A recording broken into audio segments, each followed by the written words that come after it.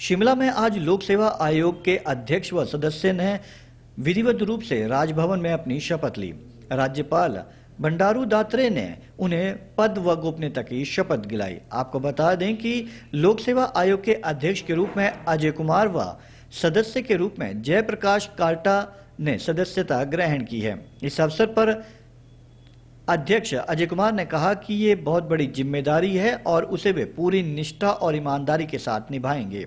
उन्होंने कहा कि आयोग अच्छे से अपनी ज़िम्मेदारी निभा रहा है। उनकी प्राथमिकता परीक्षा में पारदर्शिता को बनाए रखने के साथ साथ अगर कहीं कोई कमी पाई जाती है तो उसे दूर करना होगा। तो मैं ये कहना चाहूँगा कि ये जो हिमाचल प्रदेश लोकसभा आयोग के अध्यक्ष का पद सरकार ने मुझे उसके लिए चुना है ये बहुत भारी मेरे ऊपर ज़िम्मेदारी है और बहुत बड़ा एक दायित्व मुझे हिमाचल प्रदेश सरकार और माननीय मुख्यमंत्री महोदय ने सौंपा है। तो उसके लिए मैं माननीय मुख्यमंत्री महोदय का बहुत बहुत आभार जताना चाहूँगा।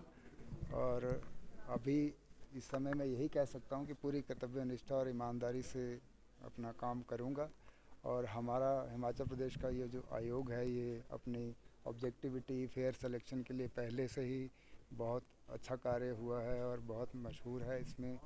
पर जो भी पारदर्शिता और लाने का स्कोप होगा सिलेक्शन प्रोसेस में और ऑब्जेक्टिविटी लाने का स्कोप होगा, उसको और बढ़ाएँगे। पहले से ही बहुत अच्छा ये काम कर रहा है और ऐसा कुछ नहीं है कि ऑब्जेक्टिविटी नहीं है बट और बढ़ाने की कोशिश करेंगे। और जो भी प्रोजेक्ट्स या चले हुए हैं, जहाँ भर्ती प्रक्रिया सिलेक्शन प्रोसेस शुरू हुआ है, उसको एक्सपीडाइट करेंगे ताकि विभिन्न पदों पे जल्दी से जल्दी नियुक्तियाँ हों सरकार की एफिशिएंसी बढ़े क्योंकि जितना टाइम पद ज़्यादा खाली रहेगा तो एफिशिएंसी प्रभावित होती है।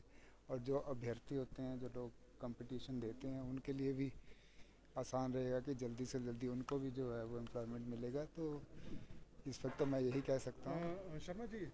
देखिए अभी तो मैं कार्यभार संभालूँगा देखूँगा मुझे पूरा ज्ञान प्राप्त होगा देखेंगे क्या क्या हो रहा है कैसे हो रहा है। और जहाँ जहाँ मैंने जैसे कहा ना जो जो भी सुधार पारदर्शिता और ऑब्जेक्टिविटी लाने में संभव होंगे वो ज़रूर करेंगे। जो सदस्यों के पद क्यों it's too early to answer this question मैं देखूँगा क्या वर्कलोड है। और नेचुरली वो तो सरकार खुद भी जहाँ जहाँ रिक्तियाँ होती हैं भरने की प्रक्रिया तो सरकार शुरू करती ही है।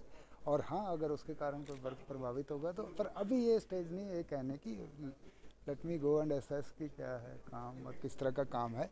बट uh, जो जो भी रिक्वायर्ड होगा कार्य में गति लाने के लिए जल्दी पोस्ट भरने के लिए और पारदर्शिता लाने के लिए वो ज़रूर करेंगे।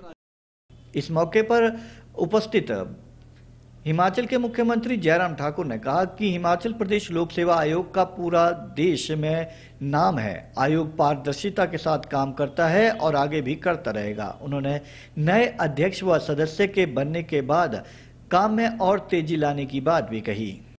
देश में बढ़ रहा है, इसमें दो राय नहीं है। और हर जगह हम देख रहे हैं कि लगातार तेज़ी से मामलों में बढ़ोतरी हुई है। ऐसी सूरत में हिमाचल प्रदेश में भी जो बढ़ोतरी हुई है, वो भी हमने नोटिस की है और उस पर हम नज़र रखे हुए हैं। अगर कोई इस तरह की लॉकडाउन या कोई और इस तरह की स्थिति और सख्त कदम उठाने की आवश्यकता पड़ेगी तो उसकी जानकारी आपको दे दी जाएगी। के अंदर हम इसको रिव्यू कर रहे हैं। सर बात हमने रिपोर्ट श्रद्धालु काफ़ी निराश रूप से जिस प्रकार से मंदिर में आने का इन दिनों में काफ़ी बड़ी संख्या में लोगों का हो रहा था तो उसमें एसओपी लागू होने के बाद जो है थोड़ी रिस्ट्रिक्शंस उसके कारण थोड़ी कठिनाई तो होगी लेकिन एक व्यवस्था है उस व्यवस्था के अनुरूप जो है हमको काम करना पड़ेगा क्योंकि कोविड को फैलने से रोकना है। देखिए Himachal Pradesh public service commission का बहुत अच्छा नाम है पूरे देश भर में। पारदर्शिता के साथ यहाँ पहले से काम होता रहा है, आगे भी होता रहेगा। अब सिर्फ़ इतना है कि नए मेंबर और नए मेंबर के साथ चेयरमैन की एक जिम्मेवारी यहाँ पर जिन लोगों को दी गई है।